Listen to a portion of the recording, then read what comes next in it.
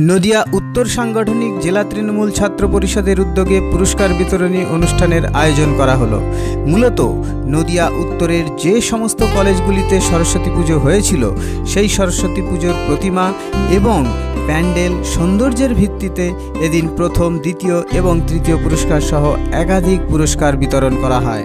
উপস্থিত ছিলেন নদিয়া জেলা পরিষদের সভাধিপতি তারান্নুম সুলতানা মীর কৃষ্ণনগর সাংগঠনিক জেলার তৃণমূল ছাত্র পরিষদের সভাপতি সম্রাট পাল, কৃষ্ণনগর পৌরসভার ভাইস চেয়ারম্যান সহ একাধিক ব্যক্তিত্বরা। এদিন নদিয়ার কৃষ্ণনগর গভর্নমেন্ট কলেজে বিভিন্ন অনুষ্ঠানের মধ্য দিয়ে এই পুরস্কার বিতরণ করা হয়।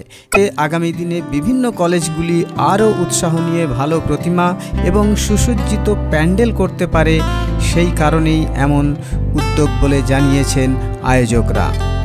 নদিয়ার কৃষ্ণনগর থেকে অর্ণব মজুমদারের রিপোর্ট। কারণ এই সময়টা আমরা পার করে এসেছি এবং দাঁড়িয়ে সেই সময়গুলো আমরা উপলব্ধি করি, মনে হয় সেই আমরা সব থেকে ভালো ছিলাম। যত সময় এগিয়ে যাবে, তত কিন্তু আমরা বিভিন্ন কাজে এনগেজ হয়ে যাব।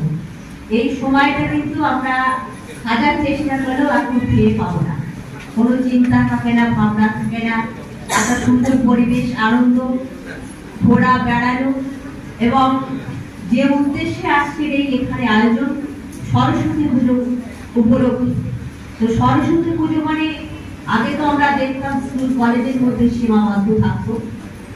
তো আমরা সেই দিনটা দিন অপেক্ষা করে থাকতাম, কখন সরস্বতী পুজো আসবে, কখন একটা হলুদ বা বাসন্তী কালারের শাড়ি আমরা জোগাড় করতে পারব, আমরা স্কুলে যাব। এবং আরও একটা মজার বিষয় আমরা দেখতাম এই সময় আমরা দেখি যে ফুল পাকে গাছে এবং গাছে সেই ঢিল মারার অফারটা হয়তো এখনকার ছেলে মেয়েদের মধ্যে নেই, কিন্তু আমরা করেছি। তো তখন বলতেন আমাদের যারা মায়েরা বা বয়োজ্যেষ্ঠ ছিলেন যে, না, অঞ্জলি না করে কিন্তু ফুল খায় জানি না এখন কতটা সবাই মানে কিন্তু এইগুলো আমরা এখন এই সময় দাঁড়িয়ে আমরা উপলব্ধি করি। এবং আজকে তোমরা যারা এখানে আছো, এই সময়টাকে নষ্ট করো না। আনন্দ, বেড়া ঘোরানো উৎসব সবই হবে। পাশাপাশি পড়াশোনা এবং পড়াশুনো শিখে যে শুধু নিজে প্রতিষ্ঠিত হওয়া, নিজে পায়ে দাঁড়ানো শুধু সেটা বিষয় না, একটা ভালো মানুষ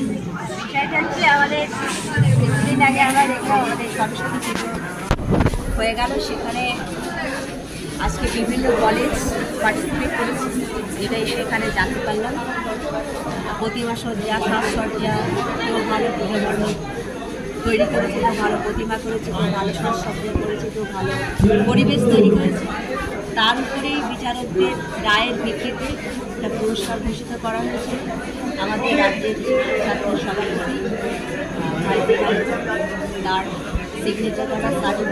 আমাদের জেলার কৃষ্ণনগর সাংগঠনিক